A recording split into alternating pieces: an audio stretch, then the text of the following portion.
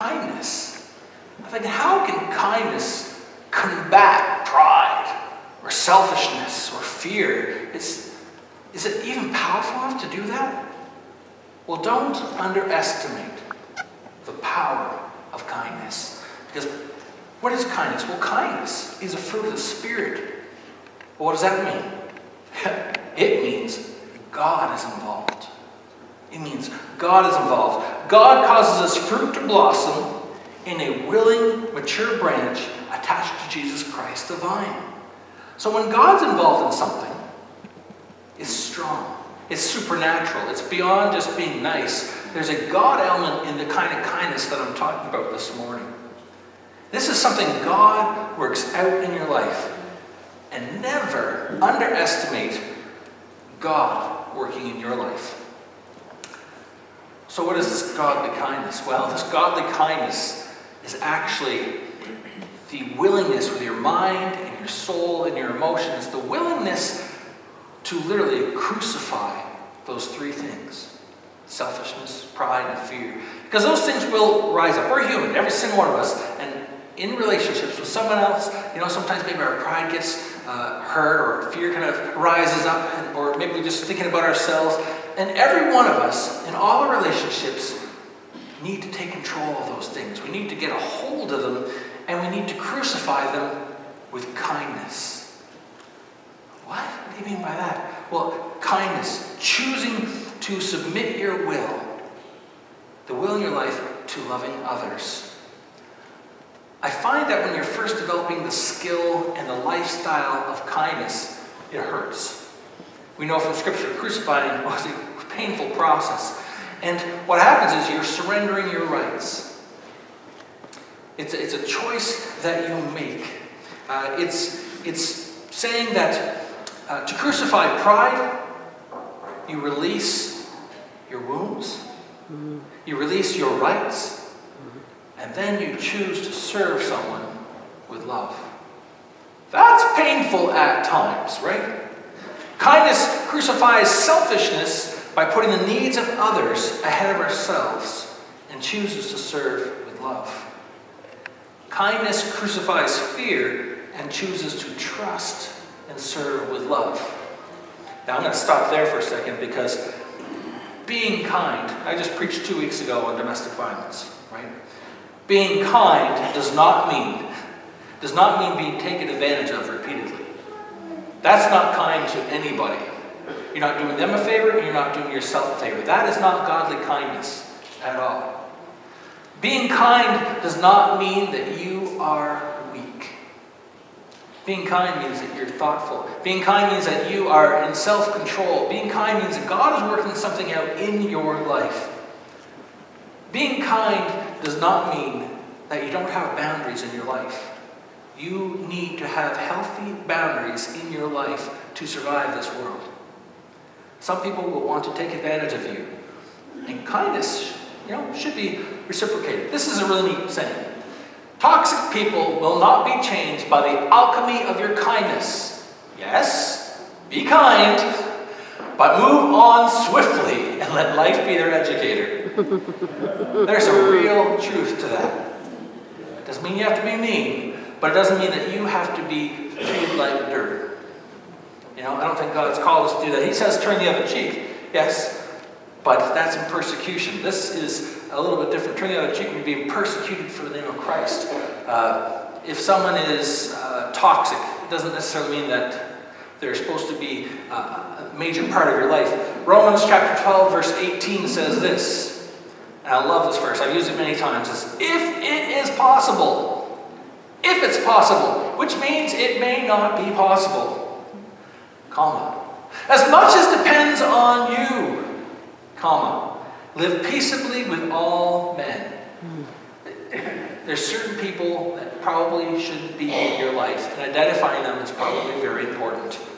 So if you're if you've seen some of these symptoms, uh, kindness is not the answer. Closing the door is the answer. But let's get back to, to kindness and what kindness looks like, godly kindness. We're going to look at this little girl. Uh, this, ah, oh, man. Okay, so growing up as a kid, I had a lot of stuffed animals. Let's be honest, some of them are bins in my house even now. I love them. And I came across this, this, uh, this kindness page, and this is what this little girl did. I sold my stuffed animals so real animals can get better care. I got 40 bucks for you. Let's see your little face. I was like, oh my goodness, that is kindness. You know what? Real kindness costs. It really does. Kindness costs. Showing people uh, true kindness costs. And unusual kindness is the key to breaking those three other forces in your life. If you fear in relationships, uh, selfishness, or, or pride, you deciding to act in unusual kindness will break those three forces in your healthy relationships. Mm-hmm. We have in the Old Testament, David sought to show kindness to Saul's descendants. He was looking, actively looking to show kindness to Saul's family. Jesus gave us the parable of the Good Samaritan and all the, the racial injustice that was going on at the time. A, a man who hated a Jew and a Jew who hated a Samaritan. The Samaritan decided to love and show unusual kindness. Mm-hmm. But Paul, Paul lived unusual. He was on his way to go see the Kaiser, or Caesar as some people like to call him, and their boat was wrecked. Paul said to everybody, We're all going to survive, just do what I say. And they got on the island, and, and the boat had crashed, and there were several hundred people. Some prisoners, some soldiers. Uh, it's a miracle that they all survived. But then Acts chapter 28, verse 2 says this The islanders showed us unusual kindness. Unusual kindness. They built a fire and welcomed us all because it was raining and cold. It was raining and cold. Not everybody liked Romans. Romans conquered everybody, and there was a lot of unhappiness towards the Roman government. And yet these people on the island of Malta didn't bat an eye. They stopped whatever they're doing. I don't even know how they heard in the middle of a storm a, a boat crashing, or maybe they heard people on the beaches. But they had to go out of their way. They had to go into the storm. They had to get miserable and wet themselves. I've never tried to light a fire in the middle of a rainstorm before or in the cold, but I hear it's difficult. And so here these people run together, they form this fire, they bring several hundred people out of, out of the water, off the shores, and they're soaking wet and miserable themselves, and they show unusual kindness. That's what I hope will come about in our lives. These people didn't just one day decide hey, let's pick one day a year and let's be unusually kind, but just one day a year, and we'll have a celebration, and to celebrate, we'll make this big fire.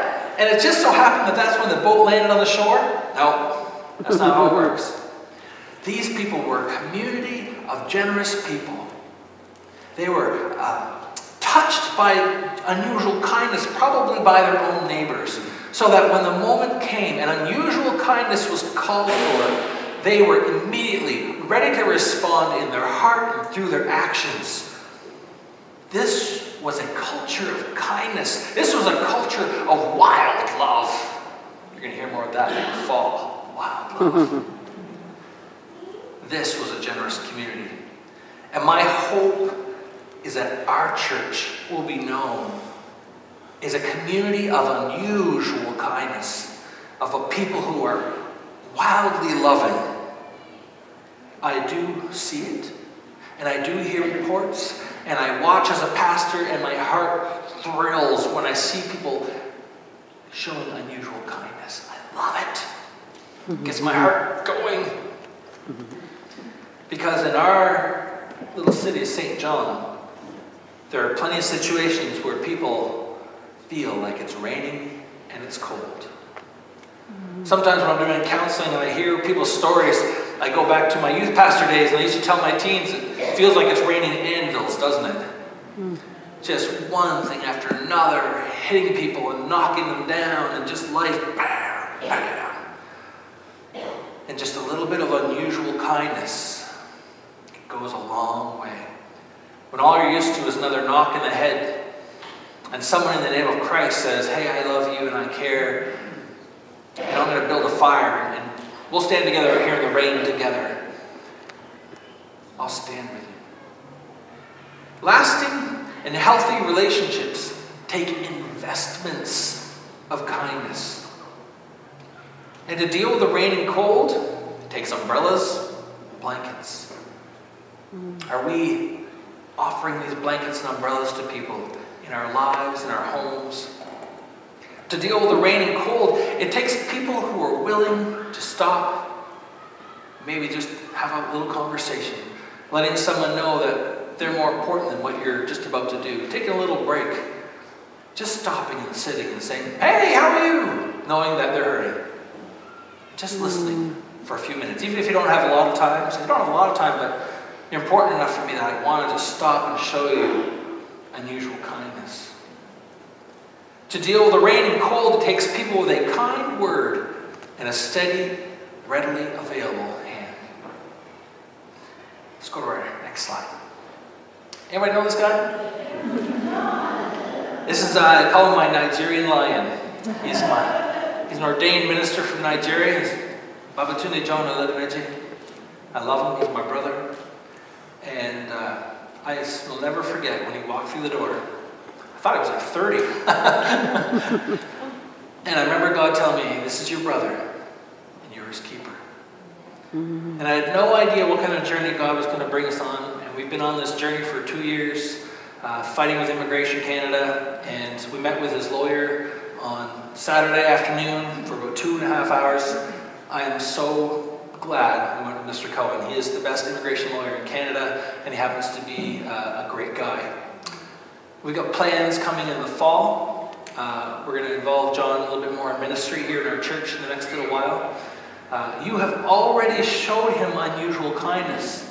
I'm so thrilled with the way that you've responded. We just mentioned once or twice in the bulletin, yeah, we're to need some money for legal fees. We're going to get going here soon. We're going to have fundraising soon and no one waited for the fundraising and just started pouring money into the situation. We're already halfway there. You blow my mind. Mm. The way you love him, the way people have responded to him, taking him around different places. Uh, you know, I know some of you have been out looking for jobs for him, and, and you've been such a support to him. You've shown him unusual kindness. Uh, we've got some things planned in the fall, and we are going to go into high gear in the fall. You need to know we're going to be having a press conference we're going to be having a, a fundraiser turkey dinner that we're going to invite the community of St. John to come to. We're going to have social media available that we're going to need you to share with your friends. We're going to have letters uh, that are going to teach you how to write a letter uh, to show your support for John. Uh, we're going to go into high gear for a few months in the fall, and that's going to get the can rolling. Because you know, he has a wife and three children that are home, and they need to be here in Canada. They're not safe and John is not safe to go home. There's people that want to kill him. Mm-hmm. But anyhow, he needs our unusual love. And we're going to show it. I don't. I know I don't have to ask you to show it because you're already doing it. But we are going to kick it into high gear soon, and we're going to have practical ways that you can show. And it costs. It costs to write a letter. You know, it sounds not very hard, but then you put pen to paper. And go, oh, this is a lot harder than I thought. We will help you with that. We will help you with that because we know he's a man of God. And we can see what God is doing bringing him uh, into ministry here in Atlantic Canada. The Gal family that was here last week showed up from Alberta, home burned down four hours later. Mm-hmm. You know, uh, Roy and Doris, I know you're not looking for acclamations, but you are an example to us all about how to love people. And I thank you for representing our church so well in those arenas.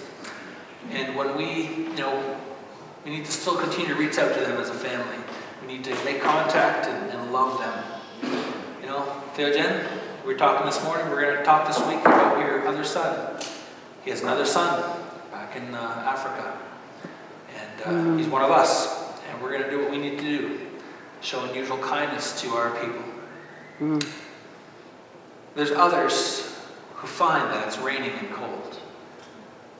Maybe you're here this morning and you feel, man, the sun's out, but I feel alone and it's damp and it's dark. and I just need to be loved. Well, I hope and pray that our eyes will be open, that we'll see, that we will um, move forward in these things.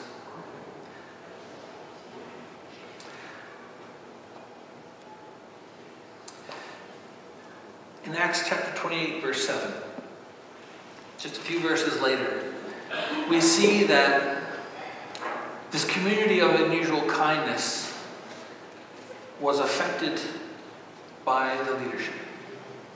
Was affected by the leadership. It says there was an estate nearby that belonged to Publius, or however you say his name, Publius. the chief official of the island, he welcomed us to his home and showed us generous hospitality for three days. That's several hundred people. He treated us, another translation, he treated us kindly for three days.